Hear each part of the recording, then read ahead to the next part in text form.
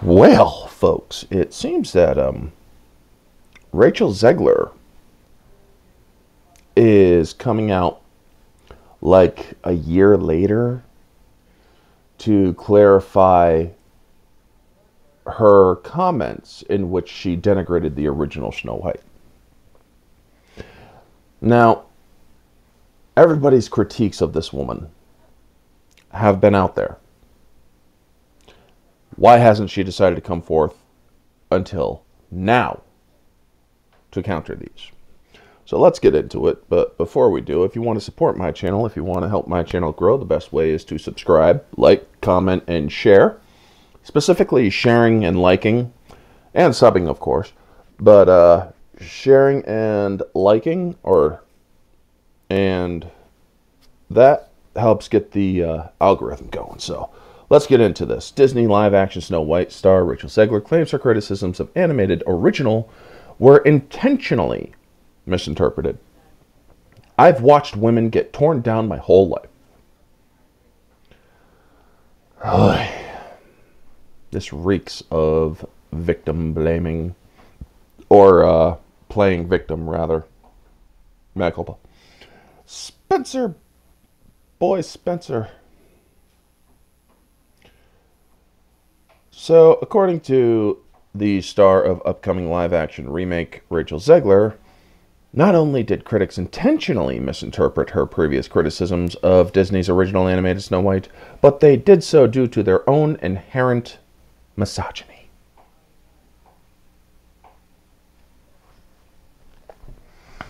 Hmm. All right, let's get into it, folks. So, as readers may recall, asked by extras, and yes, these are, are this is just a rehash where the whole weird, weird stuff that she said and also basically saying it was made in 37 and evidently so, calling the prince a stalker. So I will leave a uh, link to the article down in the chat, folks, so that you can uh, read the article yourself. I have covered all of this stuff as it came out. I don't really feel like rehashing it again, but we are going to go down to the part where it starts right here Okay, let's get back up there and go from there. So, and while many walked away from these interviews having understandably taken her words as direct critiques of the original Snow White story entire identity, Zegler claimed that this read could not be further from the truth. Basically, a lot of us said she is indeed uh, kind of trashing on the original. Reflecting on the discourse during a recent interview with Varieties. I don't want to pronounce that name. Um, she recalled, in all honesty, it made me sad that it was taken in such a way because I believe that women can do, or that women can do anything. But I also believe that women can do everything. Emphasis hers. They can do everything, including create a life without the help of male sperm cells. I mean, this woman is kind of crazy.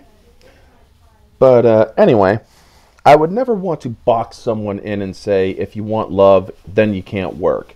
She said, if you want to work, you, then you can't have a family. It's not true. It's never been true. It can be very upsetting, then things get taken out of context or jokes don't land. Zegler says, the love story is very integral. Oh, now it's integral. Now it's important. When she said, oh, the they could cut his uh, role out, it's not going to be a love story. A lot of people wrote that we weren't doing that storyline anymore because you said you weren't. We were always doing that. It just wasn't what we were talking about on that day. You're a fucking liar, Rachel. If you go back and say, we're not doing that, she's not going to be saved by the prince, it's not going to be a story of true love. Those are your words. So I'm sorry to uh, burst your little bubble of bullshit.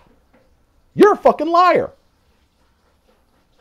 So getting on to this, to this end, the actress then opined that while she wasn't a fan of the backlash, rightfully so. I mean, it's backlash against. Nobody would be. She felt that it was part of the or part and parcel of being a woman in a public fancy or public facing role. Fuck you, woman. It's not because you're a woman, it's because you are a liar and a narcissist and a person who was bashing the original role. Folks, we don't care if the, it is a female lead. We want to know if the story's good, if the writing is good, if that female lead has a character journey that makes her, or even him, if it was a male led story, a worthy hero's journey. If you have that, we will like it. If you don't, it will be bad. It doesn't translate well. It becomes an objective flaw. That is what we are talking about when we do these critiques. It has nothing to do with her being a woman. It has everything to do with is the quality good. God. Well, I've watched women get torn down my whole life. Oh no, wait, hold on. Um, Zegler's not surprised by what she sees as people's willful misunderstanding of her comments. It's par or it's par for the course for an outspoken young woman in the public eye. God, that is all they ever know how to do is play victim. This is becoming a rant video, folks, because honestly, I haven't read the article. This is my first time reading an article, and that's how I like to do things because I like to give a fresh take so that what I am reacting to is genuine because I know that that has been a critique against my channel. Um, I've watched women get torn down my whole life, my whole career. No, you haven't. You've watched people uh, do these critiques, and then you decided to take it all out of context and play victim, and then they also did the same thing.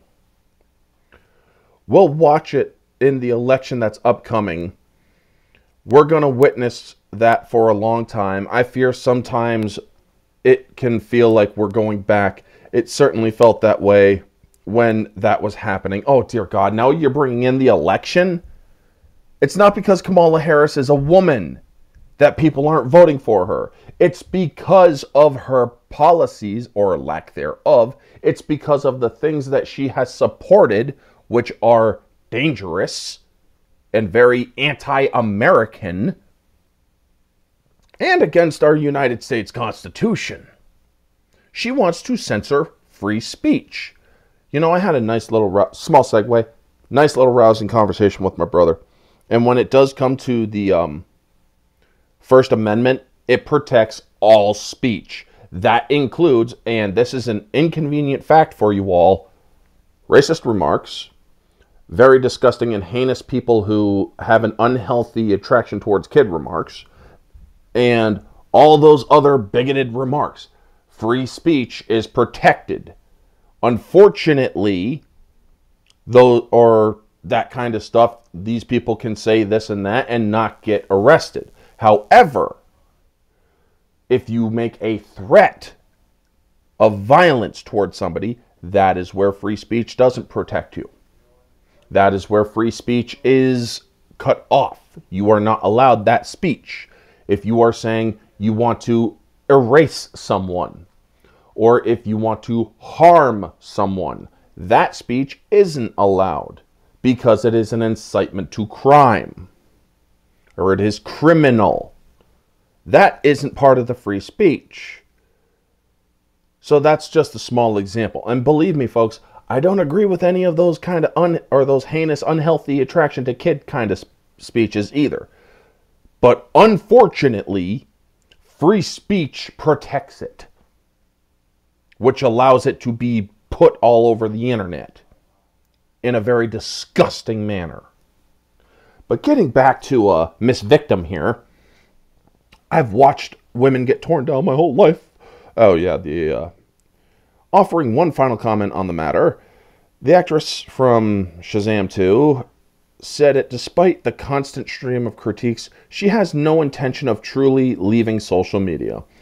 Well, no, she's got to pr- continue protecting uh, Palestinians and uh, supporting terrorism, which, due to free speech, she's allowed to do. Um, I don't like to give them the satisfaction of knowing they hurt me in the moment. You just uh, admitted that they did. You give them a lot of power by taking on or taking a social media break. It seems that you did. But hey, um, yeah, you're kind of contradicting yourself here. Notably, this is not the first time that Zegler has tried to clarify or rather backpedal her past comments. Speaking to fellow Disney actress Halle Bailey, we all remember that interview. The cartoon is so beloved and its first feature-length cartoon movie. It was or it won honorary Oscars and all of those amazing things that happened for that film are the reason that you and I get to sit here today. Oh, now, or yeah, I do remember that because then you're actually giving credit where credit is due instead of blasting the movie that you hate so much.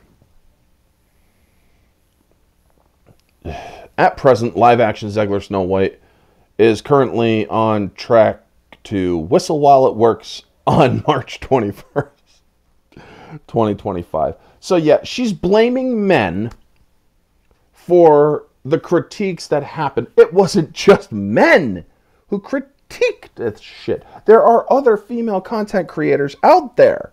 There are female content creators who said the same damn thing. You're shitting on the original. That's why this movie is boycotted so badly. You got so many people boycotting this movie. And plus, apparently, it's rumored that this movie is or its budget blew up to 500 million or 500 million. Now, due to the fact that shot in the UK, we'll know after the fact because according to Mr. H review, shout out to him, that stuff is going to be made public. So, I said predicted in previous videos on track to lose around 600 million dollars.